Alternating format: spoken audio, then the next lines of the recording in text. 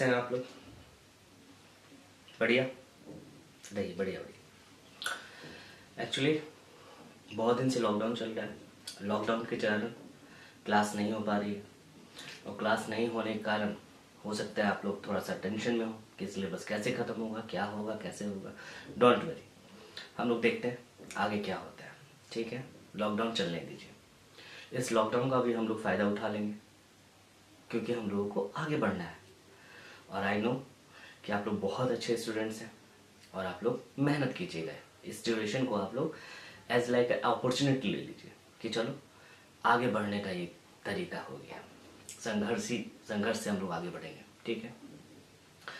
तो हम लोग ज़्यादा बात की बात नहीं है, ज़्यादा बात नहीं करना। हम लोग बस देखते हैं वैसा ट्वेल्थ का वैसा चैप्टर हम लोग यूज़ करेंगे, जो पूरी तरह से थ्योरेटिकल है। ओनली थ्योरी है इसमें। तो हम लोग थियोरेटिकल चैप्टर जितना भी होगा सबसे पहले कंप्लीट कर लेते हैं। और कंप्लीट करने के बाद देखेंगे और भी टाइम बचेगा तो और भी हम देखेंगे, क्योंकि लॉकडाउन हो सकता है, ये चौदह अप्रैल नहीं, आगे भी बढ़ जाए। तो आगे बढ़ जाए तो कम से कम इस ड्यूरेशन में अगर हम लोग एक दो चैप्टर भी खत्म कर लेते हैं तो बहुत अच्छी बात है। हम पूरी तरह से एज लाइक अ क्लासरूम जैसे क्लासरूम में क्लास लेते हैं, जैसे आप लोग क्लासरूम में करते हैं, सब चीज़ सेम वही चीज़ होगा। बस यहाँ पे स्टूडेंट्स नहीं है। हाँ अगर कोई क्वेरी हो, कुछ हो आप वीडियो देखिएगा वीडियो को पॉज कीजिएगा वहाँ पे कॉल कीजिएगा मैं आपको समझा दूँगा। इस चैप्टर में ये चैप्टर जो स्टार्ट कर रहे हैं इसमें पूरा सब चीज़ हम देंगे आपको। आ, पूरा short notes long answers questions NCERT solution सभी चीज़ रहेगा। ठीक है? तो हम लोग जो पहला चैप्टर ट्वेल्थ का स्टार्ट कर रहे हैं जो पूरी तरह से थ्योरेटिकल है, आप लोग भी एनसीईआरटी बुक्स होगा आप लोग के पास एनसीईआरटी बुक्स का यूज़ कीजिएगा, उसके बाद पढ़ लीजिएगा, उसके बाद ये पढ़िए, आराम से पूरा समझ में आएगा, ठीक है? चलिए स्टार्ट करते हैं। जो फ़र्स्ट चैप्टर हम लोग स्टार्ट करने जा रहे हैं दैट इज़ क्या? That is surface chemistry the surface chemistry पहले हम लोग देख लेते हैं इसमें क्या क्या पढ़ना है हम लोग को। सबसे पहला वर्ड है एड्जॉर्प्शन क्या चीज़? एड्जॉर्प्शन इसके पहले जो आप वर्ड सुने होंगे, वो एब्जॉर्प्शन सुने होंगे। एब्जॉर्प्शन यहाँ लिखा हुआ है एडजॉर्प्शन तो इसके बारे में हम लोग डिस्कस करेंगे एडजॉर्प्शन क्या होता है एब्जॉर्प्शन क्या होता है। आगे। कैरेक्टरिस्टिक्स ऑफ़ एडजॉर्प्शन सही है? Types of adsorption factors affecting adsorption adsorption isotherm adsorption isobar catalyst mechanism of action of catalyst enzyme इसके बारे में पढ़ेंगे हम लोग। और लास्ट में जो है that is the colloidal state या आप लोग पढ़े होंगे कोलोइडल सॉल्यूशंस कोलोइडल सॉल्यूशन हम लोग नाइन टेंथ में भी पढ़ना था। और नहीं, जानते हैं milk milk was a colloidal solution ठीक है? तो आगे इसके बारे में डिस्कस करेंगे, हर चीज़ डिस्कस करेंगे। ये जो कैटलिस्ट है, हो सकते हैं बायोलॉजी वाले पढ़े होंगे मैकेनिज्म एक्शन ऑफ़ कैटलिस्ट पढ़े होंगे इंजाइम्स के बारे में पढ़े होंगे। तो मैं हर वो चीज़ बताऊँगा जो आइदर बायोलॉजी से हो या फिजिक्स से रिलेटेड हो। अगर मेरे चैप्टर में आएगा तो I will always explain you चल तो पहले हम लोग पढ़ेंगे द सर्फेस केमिस्ट्री आप इसको क्या कहेंगे नोट डाउन कर लीजिए। हाँ। इस चैप्टर को दो पार्ट्स में डिवाइड करेंगे हम एक एड्जॉर्प्शन वाला पार्ट और दूसरा क्लोइडल स्टेट क्लोइडल स्टेट एक पूरी तरह से डिफरेंट चैप्टर है। पूरी तरह से डिफरेंट तो उसको हम लोग अलग तरीके से पढ़ लेंगे। ठीक है? तो पहले आप क्या कीजिए? इसे नोट डाउन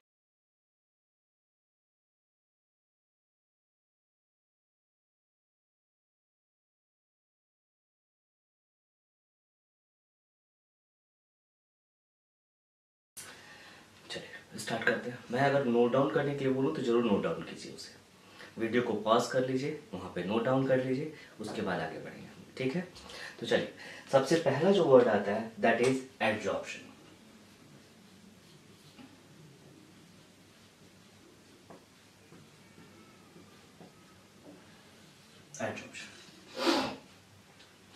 आखिर ये वर्ड एड्जॉर्प्शन है क्या?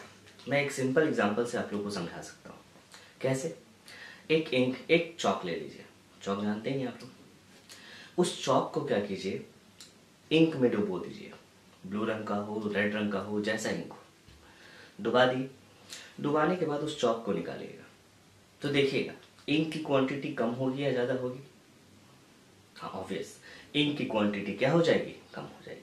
आप बोलते हैं कि चौक ने उसको सोख लिया। इंक को क्या करता है? सोख लेता है। चलिए, ठीक है वेरी गुड आप देखेंगे अगर ब्लू रंग के इंक में डुबोए होंगे तो आप देखेंगे चौक का जो सरफेस आउटर सरफेस होगा, वो कैसा हो जाएगा? ब्लू कलर का। Outer surface will be catchable in blue colour लेकिन आप चौक को क्या कीजिए? बीच से तोड़िए। तोड़ने के बाद आप देखेंगे कि, अरे, अंदर में तो केवल क्या था? व्हाइट लेकिन ओनली ऑन द सर्फेस आपका क्या होगा वो? ब्लू इसका मतलब क्या हुआ? आपका जो कलर था वो कलर कहाँ पे रह गया? ओनली ऑन द क्या चीज़? सर्फेस और जो लिक्विड था, वो कहाँ चला गया? इनसाइड द बॉडी बस सिंपल यही है एडजॉर्प्शन वैसा चीज़ जो ओनली सरफेस पे होता है ओनली ऑन द क्या चीज़? सरफेस इज़ कॉल्ड एडजॉर्प्शन और जो बॉडी से होता है दैट इज़ कॉल्ड एब्जॉर्प्शन समझ में आया? एडजॉर्प्शन और एडजॉर्प्शन क्या है? एडजॉर्प्शन क्या है? जो ओनली ऑन द क्या हो? सरफेस मीन्स आप कह सकते हैं it is a surface phenomenon it is a surface phenomenon ठीक है? तो सबसे पहले हम लोग एडजॉर्प्शन का क्या लिखेंगे? डेफिनेशन नोट डाउन लिखें. हेडिंग लीजिए क्या चीज़? एडजॉर्प्शन लिखिए the phenomenon of the phenomenon of attracting the phenomenon of attracting and retaining the phenomenon of attracting and retaining the molecular species the molecular species on the surface of on the surface of solid or liquid solid or liquid is known as adsorption. Is known as adsorption. अब यहाँ पे कुछ आ, बच्चे पूछेंगे कि gas क्यों नहीं? तो बाबू आपको मैं बता दूँ कि सरफेस केवल दो ही चीज़ के पास होती है एक सॉलिड और दूसरा लिक्विड गैस यहाँ गैस यहाँ पर नहीं होगा। ठीक है? आगे बढ़ते हैं हम लोग। अब देखिए एब्जॉर्प्शन जो है ये दो वर्ड से बना। एज लाइक अ सॉल्यूशन आप सॉल्यूशन जानते हैं? सॉल्यूशन दो चीज़ से बना होता है। एक सॉल्यूट और दूसरा सॉल्वेंट फ़र्स्ट सॉल्यूट और दूसरा सॉल्वेंट सॉरी सॉल्यूट क्या है? जैसे चीनी और पानी लेते हैं। चीनी क्या हो गया? सॉल्यूट और पानी क्या हो गया? सॉल्वेंट सिमिलरली उसी तरह से एड्जॉर्प्शन भी क्या होता है? दो वर्ड से बना होता है। पहला होता है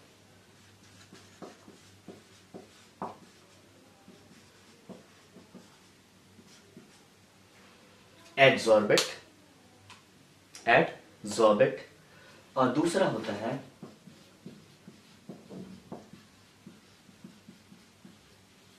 एडजॉर्बेंट फ़र्स्ट एड जॉबेट और दूसरा एडजॉर्बेंट एडजॉर्बेंट क्या है? एक तरह से आप बोल सकते हैं जो सरफेस देता है। क्या करता है? सरफेस प्रोवाइड करता है। जो सरफेस प्रोवाइड करेगा। मीन सरफेस कौन प्रोवाइड करेगा भाई? तो सरफेस दो ही चीज़ प्रोवाइड करता है। एक सॉलिड एंड क्या चीज़? लिक्विड सॉलिड एंड लिक्विड तो एड्सॉर्बेंट किसे कहेंगे? जो सरफेस प्रोवाइड करेगा। The substance which provide surface is called adsorbent दूसरा है एड्सॉर्बेट एड्सॉर्बेट का मतलब वैसा स्पेसिस मॉलिकुलर स्पेसिस क्या होता है ये बाबू? मॉलिकुलर स्पेसिस जो एड्सॉर्बेंट पे अटैच होगा। जो एड्सॉर्बेंट पे अटैच होगा। एज फॉर एग्ज़ाम्पल मैं आपको यहाँ पे बताता हूँ। मान लेते हैं एक सरफेस है। दिस इज़ अ सरफेस और इस सरफेस पे ये अटैच्ड है। ये अटैच्ड है। ठीक है? तो ये जो कहलाएगा this is called adsorbate and this one will be called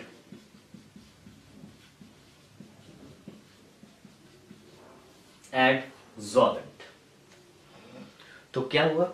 ये आपका एडजॉर्बेंट जो सरफेस पे अटैच्ड होगा molecular which is which, molecular species which is attached on the surface of adsorbent is called adsorbent. और दूसरा है एड्सॉर्बेंट जो surface provide कराएगा। दैट इज़ कॉल्ड एड्सॉर्बेंट यहाँ एक दूसरा टर्म आता है दैट इज़ कॉल्ड इंटरफेस क्या है ये? इंटरफेस इंटर का मतलब ही क्या होता है? मालूम है? नहीं. इंटर का मतलब होता है बिटवीन इंटर का मतलब होता है बिटवीन इसका मतलब इंटर का मतलब between the two face sorry inter का मतलब होता है between means between adsorbent and adsorbent जो फेस दोनों के बीच में कॉमन हो. Common between adsorbent and adsorbent आप लिख सकते हैं इसको. क्या चीज़ लिख सकते हैं? Common surface between adsorbate and adsorbate common surface between adsorbate and adsorbent is called interface सही है तो पहले इसे आप नोट कर लीजिए उसके बाद मैं सभी का डेफिनेशन लिखाता हूँ नो डाउट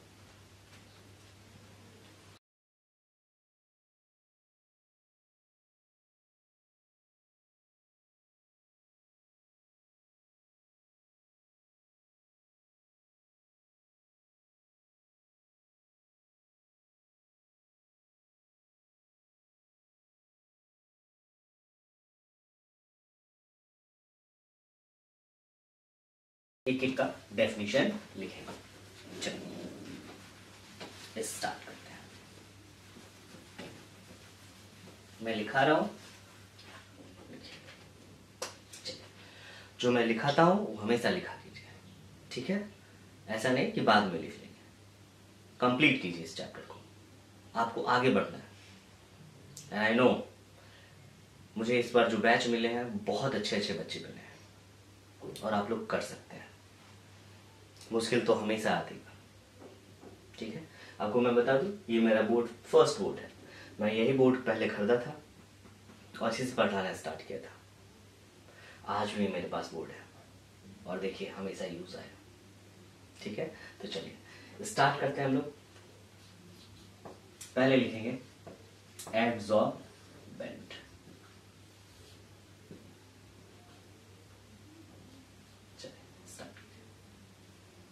एब्जॉर्बेंट लिखिए बाबू एड्सॉर्बेंट हेडिंग दीजिए adsorbent the substance the substance which provides which provides surface surface for for adsorbate for adsorbate is called adsorbent the substance which provide surface for adsorbate is called adsorbent तो substance आपका क्या हो सकता है example में बाबू आप example में लिख सकते हैं। क्या चीज़ हो सकता है? दो ही चीज़ सरफेस प्रोवाइड करेगा। सॉलिड एंड क्या चीज़? लिक्विड सॉलिड एंड लिक्विड आपको जानना चाहिए, हर सॉलिड और लिक्विड के पास एक अट्रैक्टिव फोर्स होता है। और वो दूसरे मॉलिक्यूल को क्या करता है? अपनी ओर अट्रैक्ट करता है। ठीक है? चलिए। दूसरा पॉइंट है adsorbent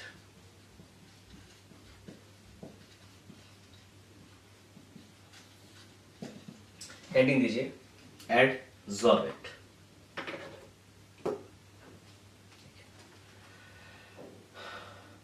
the substance the substance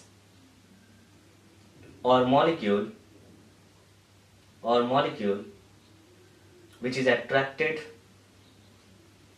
which is attracted on the surface of on the surface of adsorbent adsorbent is called adsorbent, is called adsorbent. तो बोलिए एड्सॉर्बेंट का एग्ज़ाम्पल क्या होना चाहिए? दो ही चीज़ अट्रैक्ट हो सकता है बाबू। पहला हो सकता है एक लिक्विड और दूसरा है गैस गैस कैन बी और गैस और liquid can act as catches adsorb सही है? चल। सॉलिड नहीं ठीक है। अगला देखते हैं हम लोग। Interface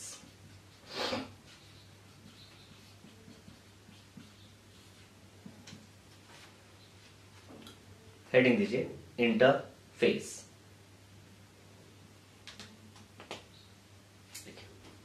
interface the common surface the common surface between between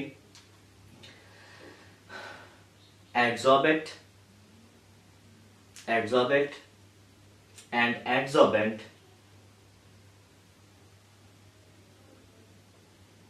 is called interface is called interface तो अभी तक हम लोग क्या पढ़े? एडजॉर्प्शन एडजॉर्प्शन क्या है बाबू? It is a surface phenomenon केवल ये कहाँ पे होगा? सरफेस पे होगा. एडजॉर्प्शन में दो वर्ड्स यूज़ होते हैं. एक एडजॉर्बेट और दूसरा एडजॉर्बेंट एडजॉर्बेट क्या है? जो एडजॉर्बेंट पे अटैच्ड हो. Attracted by adsorbent is called adsorbate और जो सरफेस प्रोवाइड करता है that is called adsorbent और दोनों के बीच में जो कॉमन सरफेस होंगे इज़ कॉल्ड इंटरफेस तो आगे हम लोग देखेंगे characteristics of adsorption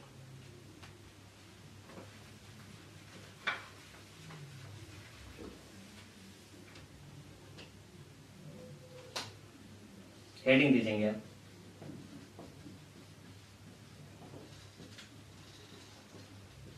characteristics of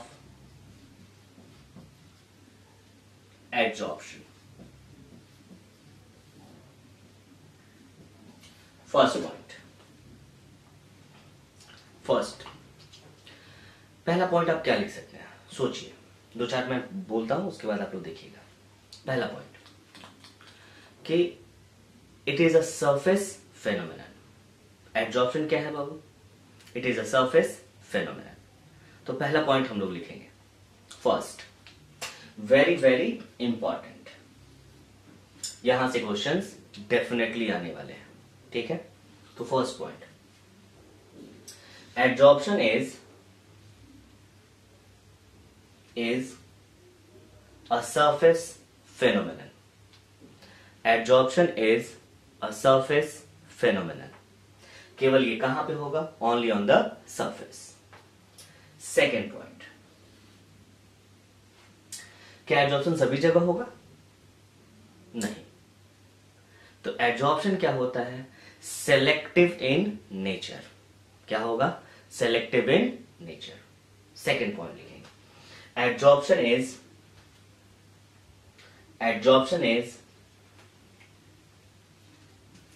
specific and selective in nature. क्या होगा? Specific and selective in nature अगला पॉइंट बोला जाता है क्या चीज़?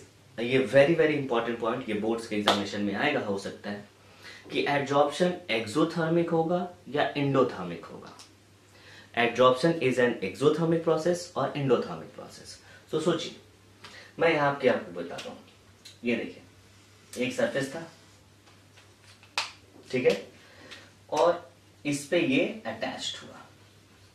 अच्छा बताइए, कोई चीज़ अटैच जो हुआ, वो कैसे अटैच्ड होगा? इसी तरह से? नहीं। अटैच होने के लिए दोनों के बीच में कुछ ना कुछ क्या बनना चाहिए?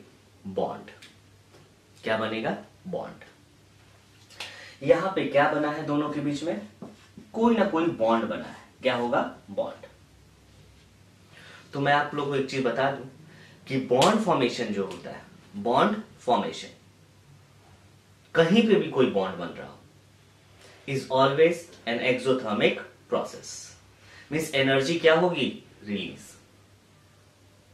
क्यों बॉन्ड फॉर्मेशन एनर्जी क्यों रिलीज़ होती है? तो देखिए, जहाँ पे भी हायर एनर्जी होगा, आप लोगों को मैं बता चुका हूँ हायर एनर्जी वाले स्टेबल या अनस्टेबल हाँ हायर एनर्जी वाले क्या होते हैं? अनस्टेबल तो कोई भी चीज़ अगर बॉन्ड बनाता है, वो किस लिए बनाएगा? स्टेबिलिटी गेन करने के लिए. और स्टेबिलिटी कैसे गेन करेगा? बोलिए. स्टेबिलिटी जब एनर्जी वो क्या करेगा? रिलीज़ करेगा तो स्टेबिलिटी क्या करेगा? वो गेन करेगा. ठीक है? तो कहीं पे भी अगर बॉन्ड का फॉर्मेशन होता है तो हमेशा वो एक्सोथर्मिक प्रोसेस होगा. जैसे, एक एग्जांपल सिंपल सा लीजिए, कि घर में शादी होता है, एक तरफ़ लड़का दूसरे वाली लड़की, दोनों मिलकर शादी करते हैं तो शादी ऐसे ही हो जाता है क्या? नहीं, बहुत सारा पैसा उससे क्या होता है? रिलीज़ होता है। और रिलीज़ होने के बाद, दोनों क्या होते हैं? स्टेबल बोला जाता है कि शादी हुआ, घर में बहुत खर्चा हो गया कोई काम कराना नहीं है। तो कहीं पे भी एनर्जी अगर कम हुआ वो स्टेबिलिटी को क्या करेगा? गेन करेगा। ठीक है? तो अगर आप बोला जाए थर्ड पॉइंट में, ये है, ये दोनों के बीच में क्या बना? बॉन्ड और जहाँ बॉन्ड फॉर्मेशन हुआ बॉन्ड फॉर्मेशन वहाँ पर एनर्जी क्या हुआ? रिलीज़ रिलीज़ एनर्जी रिलीज़ का मतलब क्या कहा जाएगा इसको? एक्सो थर्मिक क्या कहेंगे इसको हम लोग? एक्सोथर्मिक सही है? ठीक है? इसे आप नोट कर लीजिएगा और नीचे मैं इसका पॉइंट लिखाऊँगा। लिखा जाए। Adsorption is adsorption is an exothermic process an exothermic process that is that is del H हमेशा क्या होगा? नेगेटिव या पॉजिटिव बाबू? हमेशा नेगेटिव डेल एच हमेशा नेगेटिव ठीक है? आप यहाँ पर एक नोट कर लीजिए। और नोट करके बाद लिखिए वेरी वेरी इंपॉर्टेंट में कि आखिर ये एग्जोथर्मिक क्यों हुआ? लिखिए। Adsorption adsorption occurs adsorption occurs due to due to attraction due to attraction between adsorbent and adsorbent adsorbent and adsorbent and due to and due to attraction and due to attraction under bracket लिख सकते हैं bond formation and due to attraction under bracket लिख सकते हैं आप लोग। Bond formation bracket close energy is energy is always always release always released hence absorption is an exothermic is an process. Is an exothermic process. ये जो मैं note लिखा हूँ, इसको वेरी वेरी इंपॉर्टेंट में लिख लीजिएगा, क्योंकि ये आने वाला है। ये आएगा ही आता है। बहुत बार आया है। चलिए।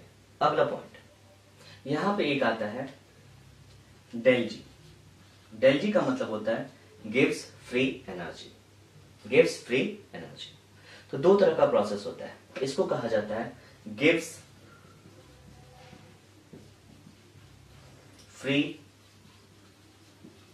एनर्जी तो दो तरह का होता है डेल जी अगर डेल जी निगेटिव हुआ del G negative then it is called कौन सा प्रोसेस कहेंगे? स्पॉन्टेनियस प्रोसेस ये याद रख लीजिएगा, मैं आगे बाद में इसको बता दूँगा। डेल जी क्या होता है? नेगेटिव अगर नेगेटिव है तो उसे कहेंगे हम लोग क्या चीज़? स्पॉन्टेनियस प्रोसेस मीन्स एब्जॉर्प्शन हमेशा होता है। तो होगा तो ये क्या कहलाएगा? स्पॉन्टेनियस या नॉन स्पॉन्टेनियस स्पॉन्टेनियस मीन्स जो वैसा प्रोसेस जो हमेशा चलते रहे दैट इज़ कॉल्ड स्पॉन्टेनियस हम लोग भी कौन सा प्रोसेस है? स्पॉन्टेनियस एक बार पैदा लिए लगातार चल रहा है, लगातार चल रहा है।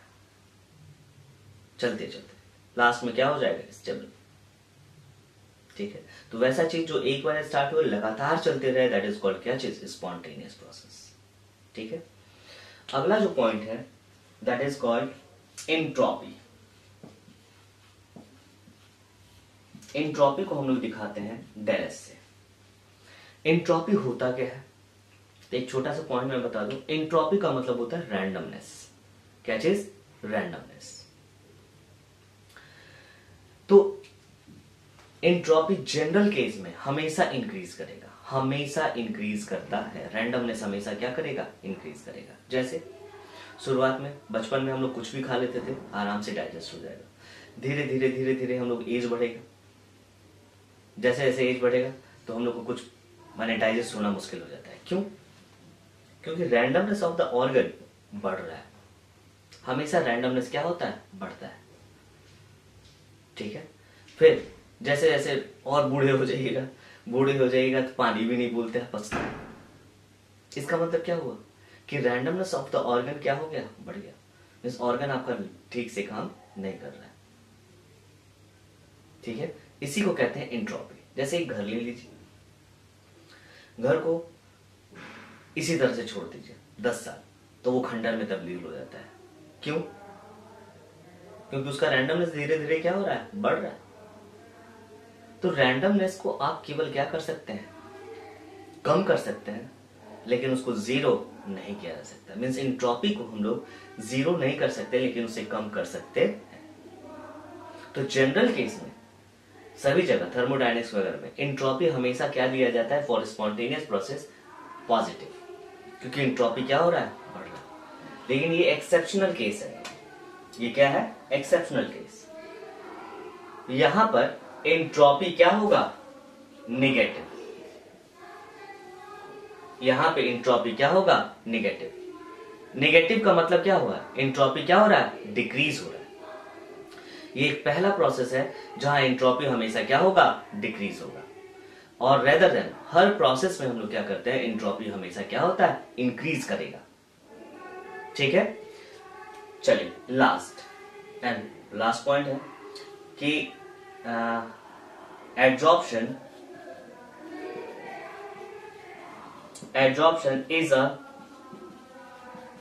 fast process adsorption क्या होता है? एक फास्ट प्रोसेस होता है। ठीक है? इंट्रोपी इंट्रोपी जो होता है in case of adsorption negative होता है। लेकिन जनरल केस में इंट्रॉपी जो होता है, वो पॉजिटिव होता है। ऐसा क्यों? रीजन है यहाँ पे इंट्रोपी यहाँ पे निगेटिव होने के कारण क्या है? कि यहाँ पे बॉन्ड का क्या हो रहा है? फॉर्मेशन अब बॉन्ड का फॉर्मेशन के कारण जो मॉलिक्यूल पहले दूर दूर रहते थे रैंडम रहते थे, वो आपस में क्या हो गए? मिल गए.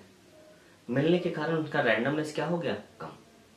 रैंडमनेस कम होने के कारण उसकी इंट्रॉपी जो होती है नेगेटिव तो ये एक्सेप्शनल केस है बाबू, इसको याद रखिएगा. और दूसरी बात इंट्रॉपी जो होता है इज़ अ रैपिड प्रोसेस हमेशा क्या होगा? जल्दी होगा. जल्दी जल्दी होता है. ठीक है? तो आगे हम इसको देखते हैं कि इसका एग्ज़ाम्पल क्या होता है. एग्ज़ाम्पल ऑफ़ एड्जॉर्प्शन बहुत अच्छा तरह से आप लोगों को मालूम होगा. जनरली हम लोगों के केस में क्या होता है? पर्व के त्यौहार में हम लोग चीनी नहीं यूज़ किया जाता है कोई भी पूजा में. जानते हैं? जनरली बोला जाता है गुड़ यूज़ करो. उसका रीजन जानते हैं? हम लोग को बचपन में हम लोग बोला जाता था कि चीनी जो होता है, हड्डी से साफ़ होता है। शायद आप लोग को मालूम हो। और वो सही कहा जाता था। क्योंकि चीनी का जो कलर को हटाने के लिए, उसके लिए हम लोग एनिमल चारकोल यूज़ करते हैं। एनिमल चारकोल जो होता है, चीनी के कलर को क्या करता है एड्जॉर्ब कर लेता है। और चीनी आपका क्या हो जाता है, कलरलेस। अभी भी आप बहुत बार देखे होंगे कि कभी कभी चीनी पीला आता है। बोलते हैं चीनी साफ़ नहीं है। है ना? रीजन है वो अच्छी तरह से एड्जॉर्ब वहाँ पे कलर नहीं हुआ होगा और कुछ नहीं होता है। जैसे, चीनी हम लोग क्या चीज़ से बनाते हैं? तो गन्ने का रस से। गन्ने का रस अगर कर देंगे तो वो गुड़ के जैसा हो जाता है। गुड़ में कलर कैसा होता है? हल्का येलोइस होता है। ठीक है? तो हम लोग देखिए purification of colour purification of sugar कैसे किया जाता है। और ये एग्ज़ाम्पल है बेस्ट एग्ज़ाम्पल है किसके लिए? एड्जॉर्प्शन के लिए। आइए देखते हैं पहले। देखिए क्या होता है। Water solution of raw sugar water solution of raw sugar ये क्या करेगा? कंटेन्स क्या चीज़? कलर कंटेन्स कलर हम लोग क्या चीज़ से पास कराएँ इसको? Passed over animal charcoal animal charcoal के ऊपर से क्या करते हैं हम लोग? पास कराते हैं. तो एनिमल चारकोल जो होता है, वो क्या करेगा? चीनी के कलर को क्या करेगा? एड्सॉर्ब कर लेगा.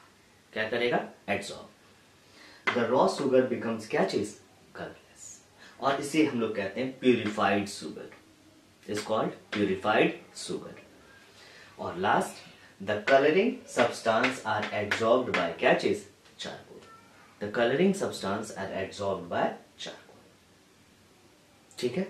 तो ये प्यूरिफिकेशन ऑफ़ क्या है? रॉ सुगर और ये एग्ज़ाम्पल है किसका? इज़ एग्जांपल ऑफ़ एब्जॉर्प्शन एक और एग्ज़ाम्पल देता हूँ.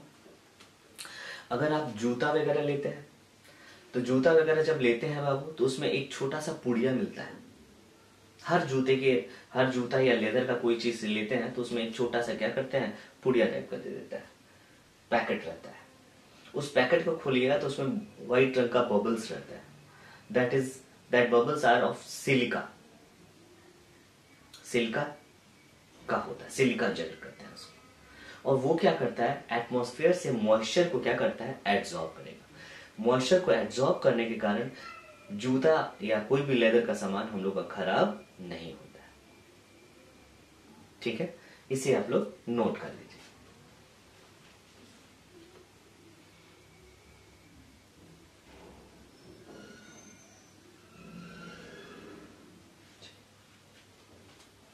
अब इसी में एक छोटा सा टर्म आता है। छोटा सा टर्म आता है क्या टर्म है? तो ये नोट में लिख लेंगे हम लोग। इज़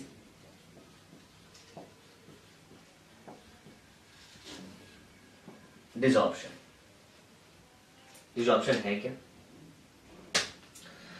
तो सिंपल सा बात। एब्जॉर्प्शन क्या था? दोनों के बीच में अट्रैक्शन एड्जॉर्बेंट और एड्जॉर्बेंट के बीच में। डी का मतलब होता है removal means removal of adsorbent from the surface of adsorbent is called desorption D का मतलब होता है रिमूवल तो नोट डाउट कीजिए इसको पहले. Desorption the process of the process of the process of removing removing adsorbate adsorbate from the surface of from the surface of adsorbent from the surface of adsorbent is called desorption is called desorption short notes में आ सकता है ठीक है उसी का दूसरा एक पॉइंट है this is called occlusion occlusion लिखिए absorption of absorption of gases absorption of gases on the surface of on the surface of metal on the surface of metal is called occlusion metal के surface पे अगर gas absorb होता है that is called क्या चीज़? Occlusive ठीक है? ये दोनों आप लोग नोट कर